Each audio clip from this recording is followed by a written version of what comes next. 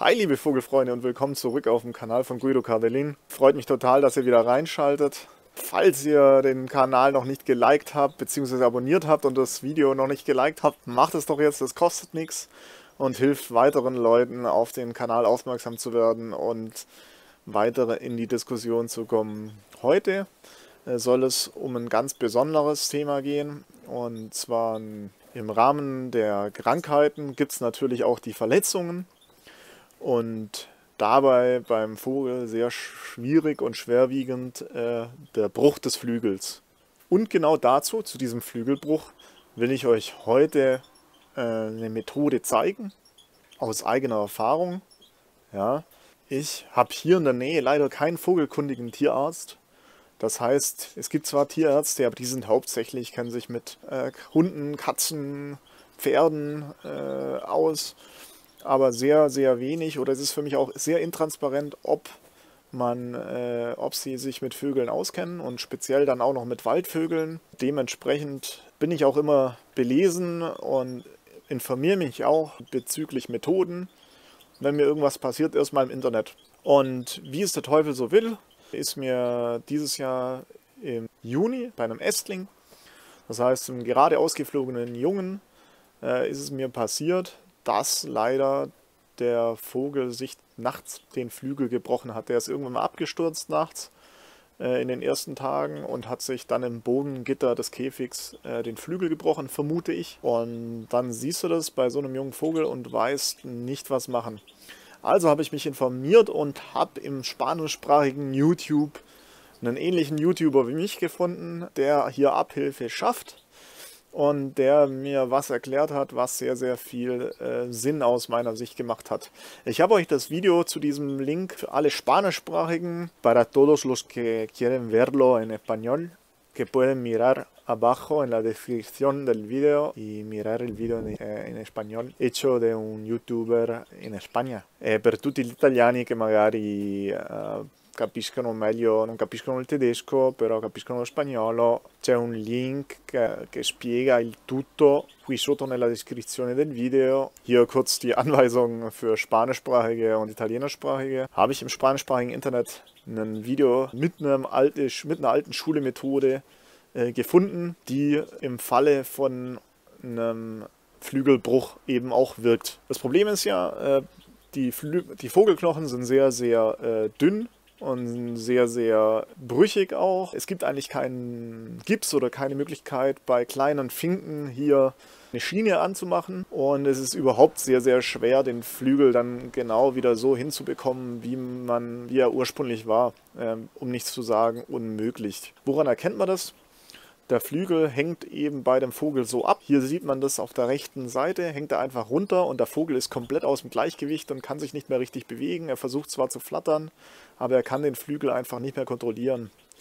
Es gibt noch eine zweite äh, Möglichkeit, das heißt, der Vogel kann, der Knochen kann ausgerenkt sein. Dann kann man, äh, oder da können die meisten Leute dann auch wirklich gar nichts mehr machen. In meinem Fall war er gebrochen. Und zum Glück habe ich dieses Video gefunden, das ich euch unten in die Beschreibung gepostet habe. Ähm, wie gesagt, äh, die Methode ist äh, eigentlich eine alte Schule-Methode. Die Methode ist äh, eine sehr alte Methode, die aber auch nicht schwierig ist, sehr gut funktioniert Nichtsdestotrotz muss man aufpassen, vor allem wenn man äh, den Vogel rausfängt. Man muss denken, der Vogel hat einen gebrochenen Knochen. Er leidet vermutlich. Äh, man muss aufpassen, den Flügel nicht irgendwie anders zu bewegen, dass es vielleicht von einem ganz normalen Bruch oder einem Knochenanriss zu einem offenen Bruch wird. Sondern man muss hier wirklich höchste Sorgfalt walten. Und die Methode basiert praktisch darauf, dass man den Vogel oben an der Schulter in einer natürlichen Weise ausrichtet und ihn dann hinten, die Federn hinten nimmt und sie überkreuzt am Schwanz. Das heißt, man nimmt den Vogel und führt den Flügel in seiner natürlichen Position, sogar vielleicht noch einen Tick über äh, die natürliche Position und packt die Federn dann hinten zusammen und stabilisiert dadurch den Vogel, dass man mit einem Sekundenkleber hinten mehrere Federn, also vor allem die Schwungfedern, die sich überkreuzen, zusammenkleben. Und so wird das Hauptproblem auch des Vogels gelöst. das Gleichgewichtsproblem. Das heißt, er kann, er fällt nicht mehr um. Der eine Flügel hält den anderen Flügel hoch und gleichzeitig aufgrund dieser natürlichen Position wird der Knochen vorne an der Schulter sozusagen des Flügels ausgerichtet und bleibt so fixiert. Das heißt, wir bilden eine gewisse Schiene, die den Vogelknochen, den Flügelknochen so ausrichtet, dass er die besten Voraussetzungen hat, zusammenzuwachsen.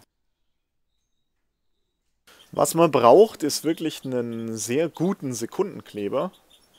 Äh, also jetzt vielleicht nicht gerade den billigsten zu nehmen, weil wenn man die Flügel überkreuzt und festklebt, ist es dann auch wirklich so, dass sie so in der Position mindestens je nach Bruch zehn Tage, lieber zwei Wochen so fixiert bleiben müssen. Das heißt, der Vogel, der Kleber muss das Ganze auch äh, halten. Und vor allem beim Einfangen muss man wirklich sorgfältig sein, dass der Vogel sich nicht weiter verletzt. Ihr seht es ja in dem Video, so wie ich das gemacht habe.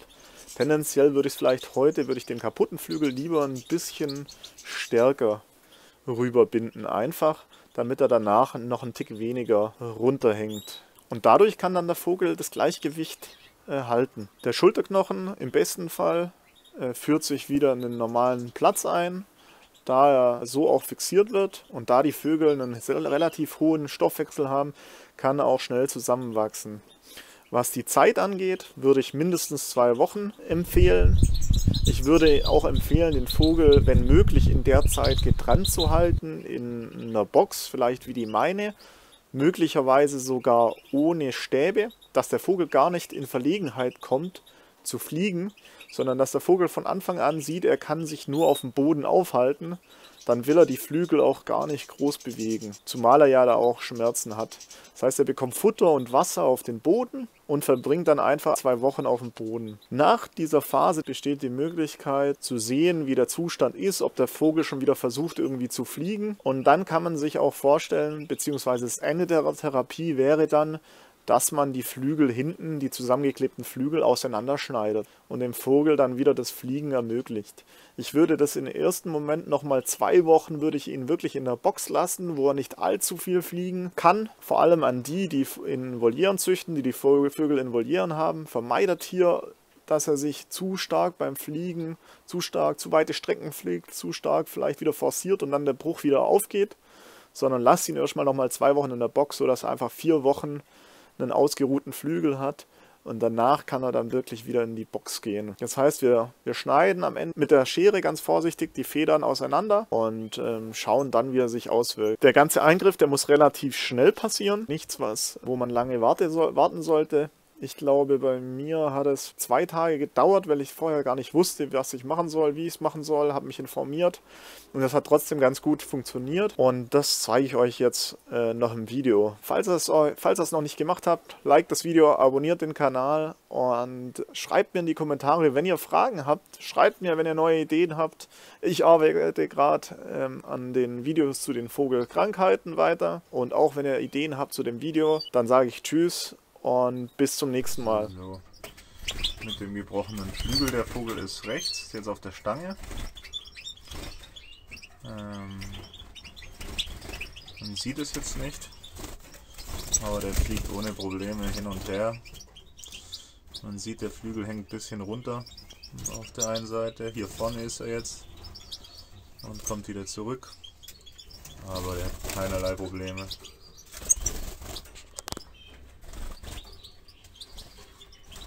Das Ergebnis.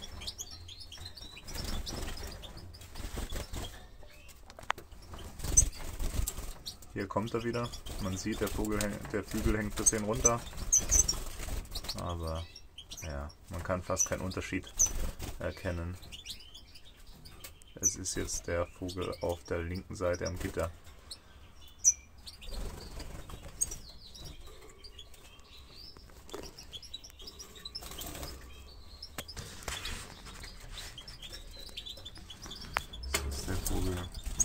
Der unterhalb ist jetzt, der auf dem Stab sitzt. Und man sieht, okay, der Flügel hängt etwas runter, aber kein Problem. So, hier ist der Vogel aus dem Video. Das ist mein Hahn, mit dem werde ich auch dieses Jahr züchten. Selbst wenn ihm äh, der Flügel ein bisschen runterhängt, kann er perfekt fliegen und hat wirklich keinerlei Probleme und die DNA passt. Also die Herkunft kenne ich, ist Naturbrot und dementsprechend mache ich mir da gar keine Sorgen bei dem Hahn.